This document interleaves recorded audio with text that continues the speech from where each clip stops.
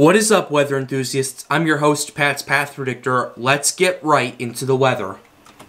Alright, so this is the situation we have right here. This is potential tropical cyclone 2. It is still a potential tropical cyclone. It's not a tropical storm yet, but it is going to get there at some point, either today, uh, today or tonight.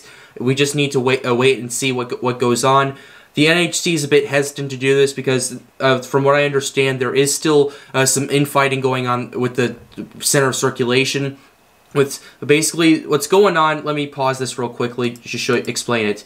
But basically what's going on is that there's a uh, upper and mid uh, level circulation right here or in, or in around this area of the storm right here. But the uh, but the low level circulation is still uh, is still around this area of the system right here. And that infighting is kind of uh, is kind of hampering its uh, development a little bit and its intent and the its strengthening. Because at this point we have two different circulations and whichever's uh, and they're and they're basically fighting each other to become the more dominant one and depending on how that comes out will depend uh, basically on the implications because the last video I made I talked about uh, how there was a potential relocation of its center potentially going to happen.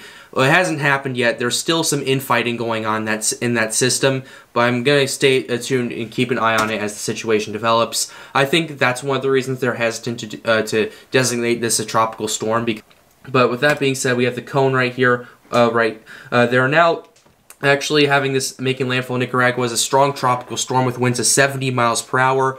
They did downgrade this, however, it's mostly because of, of this reason right here. There is a greater than normal uncertainty in the system's forecast intensity once it reaches the southwestern Caribbean Sea late Thursday and Friday.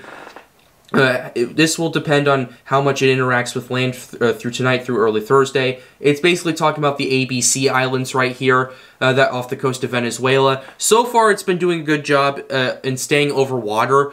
Uh, but and from what I understand, if we take a look at the cone, it doesn't look like it's going to impact make landfall on much land, and this thing is moving quite fast at 24 miles per hour. So whatever land it does make landfall on, if it does at all, it won't really hamper its intensity or anything like that that much. So yeah, basically that with the infighting in the system is why the NHC is hesitant to uh, designate this a tropical storm right now, and why they've downgraded it from a hurricane to a tropical storm at, at landfall. Nevertheless, we cannot uh, we cannot um, negate uh, all the threats. The wind threat may have gone down a little bit, but the rain threat, the flooding threat hasn't. In fact, uh, we've we've been getting reports that Grenada and Tobago got really hit really hard with rain last night, uh, as the system moved through. Uh, there's uh, reports of flooding all over Grenada and Tobago. Trinidad got mostly spared from that, which is good news. But Tobago and Grenada, they got they didn't get direct hits, but they got hit pretty hard with the rain last night. So yeah, there is uh, there was some flooding that occurred, and I want want to report that and give you guys an up. I want to say thank you for uh, for updating me, and if you if there's any more systems that's going on, if there's any conditions you'd like to report, please put that in the comments down below. It's much appreciated.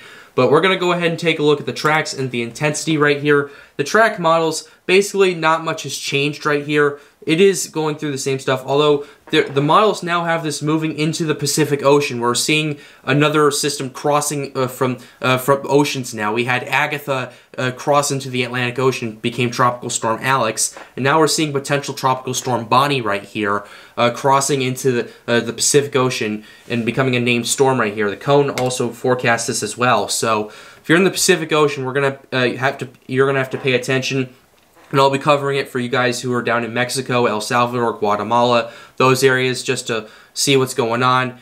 Uh, as of right now, it looks like it's going to stay out to sea, but anything can happen at this point. The intensity models, the majority have them as a tropical storm as it makes landfall in Nicaragua. That doesn't excuse the flooding threat at all. Uh, uh, but we have uh, we do have one model that goes on a limb that has this as a hurricane, which I don't think is going to I don't think is going to happen. My range is still 60 to 90 miles per hour because there is still that uncertainty the NHC laid out. So I want everyone to keep that in mind. But nevertheless, uh, but nevertheless, expect anywhere some a system if you're in Nicaragua, expect a system between the, uh, that range. And the deep layer shear like the only thing that's getting in this storm's way is uh, is basically it's it, the speed of it that it's going and the uh, the infighting between this, uh, the two centers of circulation right there. So that's basically the only thing two things that are getting in its way. the waters uh, the, the waters are getting warm they're getting warmer by the day actually we're seeing uh, 83 84 degrees uh, fahrenheit as usual we're seeing some areas uh, now in the caribbean sea cracking 85 degrees fahrenheit uh, right now so that's basically what we're taking a look at uh, taking a look at right here now I'm going to go on and talk about the HMON. We're going to go over the HMON CMC and HWRF models real quickly just to show you what's going on, what their, their latest model runs are predicting. The HMON isn't predicting that much land interaction. They are predicting a little bit, but it's not going to hamper it to the point where it just absolutely uh, disintegrates and needs to reorganize. It's going to hamper it for a little bit. It might get a little disoriented, and then it's going to start organizing again. It's going to start intensifying. The HMON still has this making landfall as a, hurricane, as a hurricane, so we need to pay close attention to, to that. Still, that doesn't excuse the flooding threat, and I, I know I keep saying this like a broken record, but uh, but that's basically uh, what I need to emphasize with this. You don't need to have a hurricane for it to be a threat. There's a wind threat. There's a storm surge threat. There's a flooding threat. Like, there's a lot of threats with these systems, and people think, oh, it's only a Category 1 hurricane. It's not going to affect me that much. You don't know. Uh, you don't know that. You don't know the uh, kind of uh, flooding that may bring. Let me give you guys an example real quickly before we go on. In 1998, Hurricane Mitch made landfall in Honduras as a Category 1 hurricane. However, it literally stayed in Central America.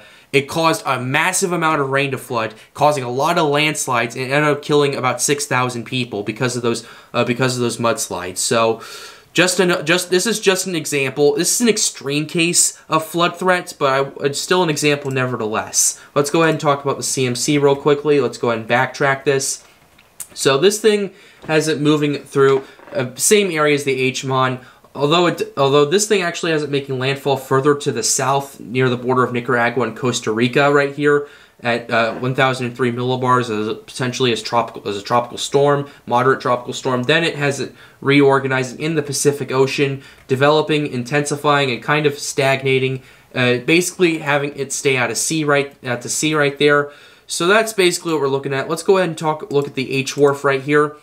The HWRF is also pretty interesting right here. Same thing. It actually has less land interaction than the HMON does and then it starts to develop, starts organizing into a potential strong tropical storm, makes landfall as either a strong tropical storm or weak hurricane with winds of uh, with potential winds up to 75 miles per hour and a pressure of 996. And then actually, it doesn't actually go uh, to the Pacific Ocean. It actually stays over land into uh, Honduras, El Salvador, Guatemala, to Mexico, and then it goes out to uh, out to sea. And what happens there is uncertain after that. So I wanted to make this video to let you guys know this new situation that's going on. We have some more uncertainty about how strong this is going to be when it approaches Central America and I will keep you guys updated as this situation progresses. But with that being said, it's going to wrap up this video. I hope you enjoyed it. Be sure to leave a like and subscribe to the channel if you are new. It helps me out, helps me make more videos like these. The goal of this channel is to get more people engaged with weather and report uh, uh, this stuff and warn them of potential hazards like this. We just hit 1,200 subscribers last night, so thank you very much. I, I hope we can keep on uh, keep on going, uh, get more uh, get more people engaged with weather. So if you haven't already, go please go ahead and hit the red subscribe button right there. But with that being said, guys, have a wonderful day. If you're in the ABC Islands, if you're in uh, Nicaragua, if you're in Venezuela and Colombia, stay safe.